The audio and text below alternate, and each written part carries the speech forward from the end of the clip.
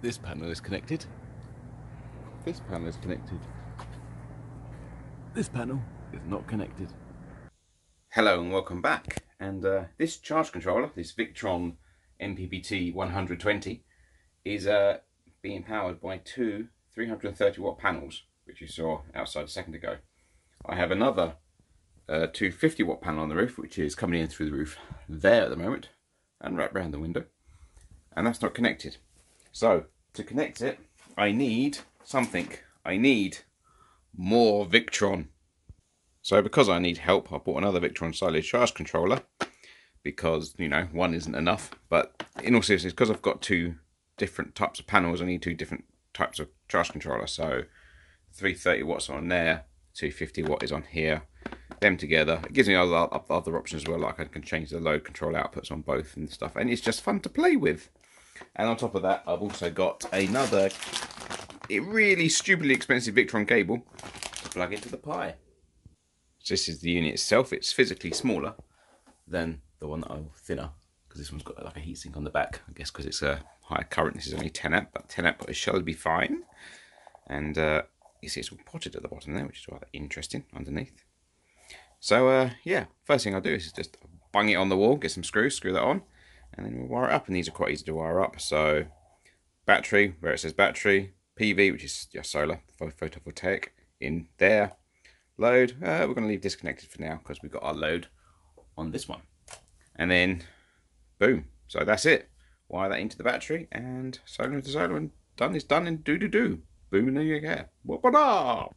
And that's wired in. So screwed to the wall, wired in, battery plus a negative, solar minus and positive. I said that completely wrong, but you know what I mean. And we have a blue flashy light. So we need to go into the app and see if it works. Right, I was trying to be clever and somehow this didn't record audio, so it hasn't. So anyway, this is editing Matt here. Hello. What I'm trying to show here is the Victron Connect app and connected to Bluetooth all the Victron devices in Z Shed. And you can see I've got the new Solar Charge Controller, which I've just clicked on and it's connecting. This is working well. So connects and then says enter pin. The pin on a new Victron is always 000000. That's six zeros. Reconnects and then it will come up a message saying update. And it's like oh no need to update it. So I'll click update. And then it sits here and it downloads the update. Then I spend some time worrying about whether or not this is going to take long whether I need to pause the video or not and I decide to not pause it. So you hear counting the percentage is going up and then I get fed up and I pause it anyway and here we go pause and it's updated so woohoo so we can click continue to this and then we go back into the Solar Charge Controller. Go back into the Solar Charge Controller. There we go. We can reconnect, and it shouldn't ask us for a pin anymore because it's remembered. And we're in. And it tells us to update. So I get a bit annoyed by this because it's asked us to update again. So we have to click update and go through the same process. And I pause the video. And then it's continued. It's passed. Woohoo! Continue. Click continue. And then we connect again. See how this is repetitive. Again, reconnecting. And finally we are in. And it's showing us all, again, don't ignore that. You normally change the pin code to something secure, but for this we're not. And you can see all the voltages and stuff from the charge controller. And it's giving us some things. And do you want to enable this feature? Yes, we do. And then we go into settings, little cog at the top. Go into battery, we go into battery. No, we don't. We go into VE Smart Networking and we want to join our network. And this one, I was meant to click on Solar Shed, but I click on the wrong network. So it, it creates a network instead. Because, you know, I know what I'm doing. So, okay. Leave the network is what I click on then. Because I suddenly realised what I've done. Join network is then what I click on. Solar Shed, because that's my network. And da-da, this means the Solar Charge Controller can now talk to all the other Victron devices. So it can talk to the battery shunt, the uh, battery sensors, and the other charge controller so it can synchronize itself with everything. So that's what we want. So we can then go back. Oh, I'm probably talking about something else boring here.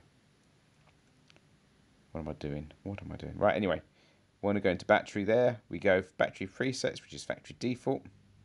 We want to click on the factory default box. We want to do select presets. And we have got a lithium ion, smart lithium ion. So scroll all the way down to the bottom, click the bottom one, click OK, and it's changed all the settings, updated all the settings for a lithium ion battery. And all I do here, I just lower the temperature cut off to 4 degrees because 5 degrees is a bit too warm for my liking because we're always cold around here. And have a look in the quick expert mode because why not? And that's pretty much it really from here. Then I just sort of muck around in the menu for some bizarre reason. Don't really know what I'm doing. Again, select presets, I'll go through this list again. I don't know why, because I've already selected it. Click OK. Right, is that it? Am I done? Who knows what I'm doing now? I'm probably talking about rubbish. Right, and then I very briefly look in... Ah, right. Anyway, I'm back. Hello.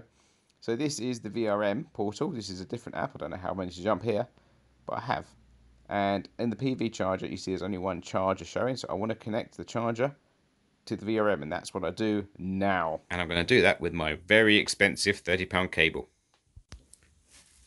Uh, so under here, there's a communication port that's currently got a little tab in it, got a little jumper. This jumper needs to come out. Using my tiny hands for this. Ugh. That jumper goes there, comes out, and then where's the cable gone? It's in between my legs. Hey, um, this plugs in to there somehow. Uh, using oh, why did I not fit that first before I screwed it to the wall? That would have been sensible. It's upside down. It's upside down. That doesn't help. It's like a phantom USB cable, isn't it? Oh no, it was right around. Oh no. Right, come on.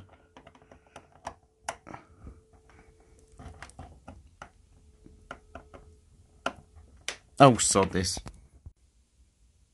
And it's effortless to plug in, as you can clearly tell. And then the other end of the USB cable, which again has gone in between my legs, which is there's the little um, isolator box and the USB cable just goes in to any USB port of the Raspberry Pi. And again it's upside down. Oh come on. There we go.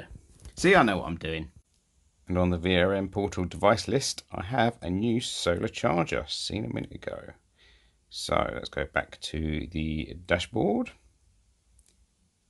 and we have two solar charge controllers sitting in there. So the two 330 watt panels, I'm going to rename that one to the 250 watt panel. And there we go. No charge because it's nighttime. But it's all working. So that's how we do that. And uh, you you know how this goes. And hopefully have a bit more power in the winter. That's the plan anyway. Give it a little bit of help. But yeah, if you need to, just add more Victron. Right. For now, I shall see you later. Goodbye.